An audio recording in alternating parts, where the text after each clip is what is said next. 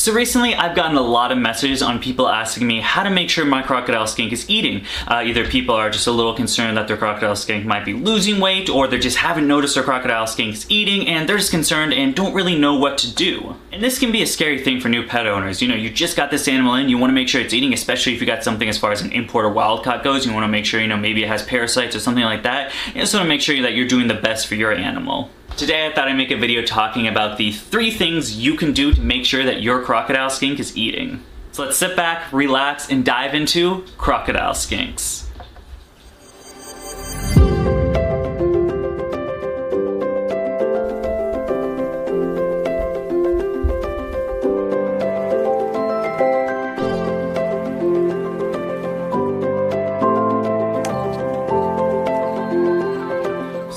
Through the same thing, you know, when I first got my pair of crocodile skinks. I wanted to make sure they were eating, you know, I was couldn't really tell. I threw the food in, but you know, as this being such a shy species, I wasn't sure they were getting the food. You know, the next day comes over and you lift up a cork log and all of a sudden you see those six dubia roaches or crickets, you know, under that cork log and you're not sure, well, you know, what am I supposed to do? Why, you know, if these guys aren't gonna get the food, what can be done? This is where I find tip number one to really be the most effective and that's going to be dish feeding. So I mean, dish feeding is pretty, you know, self-explanatory. You know, you get a dish of, you know, whatever. I'd like to keep them a little bit um on the taller end, just so the insects can escape out. Usually, if you use something a little more shallow, like um, I don't know, a plate or something like that. Some of the reptile bowls as well to have the uh, porous edges, things like dubia roaches and even superworms, they're uh, shallow enough, will be able to climb right on out, and then of course burrow inside the substrate. But dish feeding, you just pretty much put a dish in there, like I said, tall, and you put the insects in. Now, dish feeding is great because you can pretty much count the number of insects you put in there. For instance, you know, if you put eight insects in there, wait a couple of days, and then come back and there is, you know,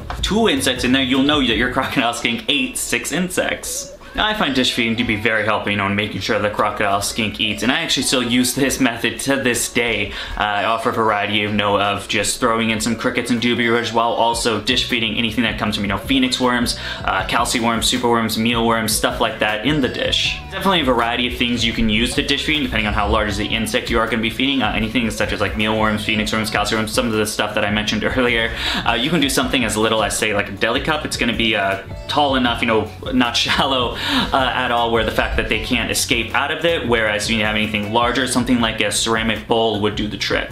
And moving on, let's get to tip two. But real quick before we do, guys, you guys do me a huge favor. Uh, go to that lower left-hand corner, hit that like button for me. It would really help me out. By the way, while you're down there, you know, we do have some DBCV Exotic merch going on right now. It's got the logo. Uh, looks very nice. You can get it in tank tops, t-shirts, hoodies. There's a couple different things. You can check that in the description below. Thank you so much. Okay, time to get on with the tips. But moving on, let's talk about tip number two, which is going to be adding a variety of your Croc Skinks diet. Just like most animals, croc can be a little picky, so it is very important for you to add that variety to the diet to really make sure you know to see you know what they want to eat. This diet can include anything such as crickets, dubia roaches, mealworms, superworms, waxworms, calci worms, phoenix worms, tomato hornworms, red wigglers, and so on. Give an example, if you're using the tip number one that we talked about, which is the dish feeding, and say you put dubia roaches in there, you got eight roaches in there, you give it a couple days, and you notice your crocodile skink still hasn't eaten those roaches well at that point you can start supplementing with different things and really experiment with it. You know, every other day adding a new item. So let's say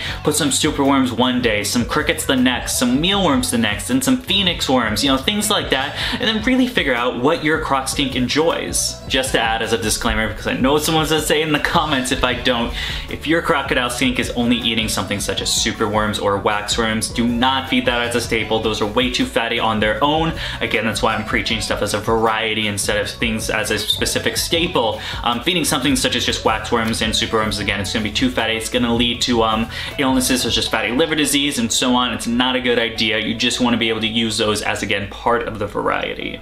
But I do find it very interesting, you know, even in the three pairs that I have right now, it's so funny seeing each individual's preference on food. I can tell whenever I put a new food item which one really favors it over the others. Before we get to tip number three, let's have out the new guys that are having trouble, you know, figuring out which food item to give to their croc skinks. Any of the crocodile skink owners that are watching this video, leave a comment in the comment section of what your croc skink's favorite food item is. Alright, and then running down to our very last tip, tip number three, let's talk about, well, looking at the poop. Now you'll know something's going in if something's going out. oh man, that was bad.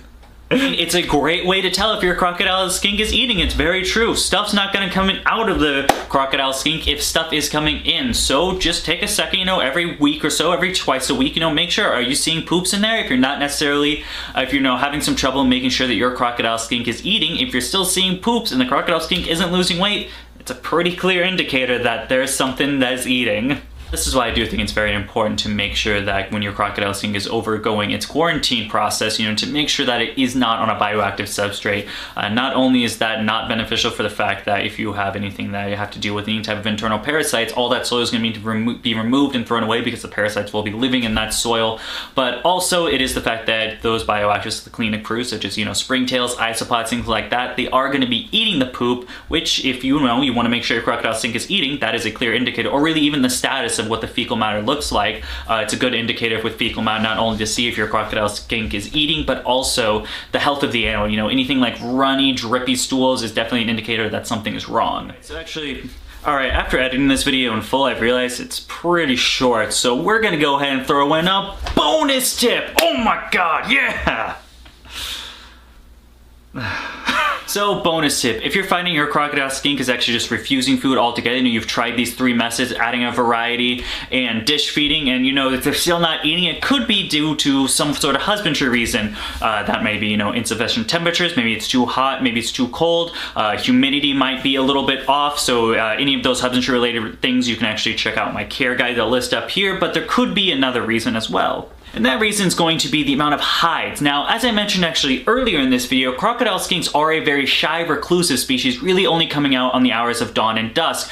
With that being said, they're gonna spend most of their times in these dark, damp areas. So if your enclosure is a little more bare, a little more open, you know, something like say a 10 or 20 gallon tank that really only has one hide in it, your crocodile skink is not gonna feel very safe and secure inside that enclosure and will refuse a meal. For any of the enclosures that my adults are housing, I like to give the options of at least three to four hides per uh, setup. You know, that way they have multiple places to go on multiple areas around the, uh, multiple areas around the enclosure, whether they want to be on the drier end, the more uh, moist area, a lot, lot more humidity, or even a hide where the water area is. This way the croc skinks just feel more secure in general, you know, being where wherever they go, there is only a hide, you know, just a couple of inches away from them. And that brings me to another great point of adding, you know, instead of just all of hides themselves, but also adding stuff like large coverage, like bioactive enclosures such as planted tanks, or even just leaf litter themselves they can hide under while they're burrowing or scurrying around the enclosure. It's something where they're going to feel a lot more safe and a lot more secure being able to explore around the uh, house.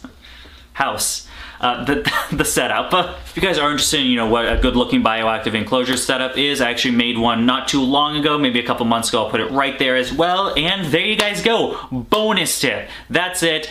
Cue past Dakotah for the outro now. And there you have it guys, three tips to make sure that your crocodile skink is eating. But now it's your turn. Leave me a comment in the comment section on one tip you would give a new crocodile skink keeper. And other than that, if you liked the video, please feel free to give us a thumbs up. If you want to see some more of my animals or my breeding products, you can follow me on Facebook and Instagram at DBCB Exotics. Other than that, thank you for watching. Hope you have a great day.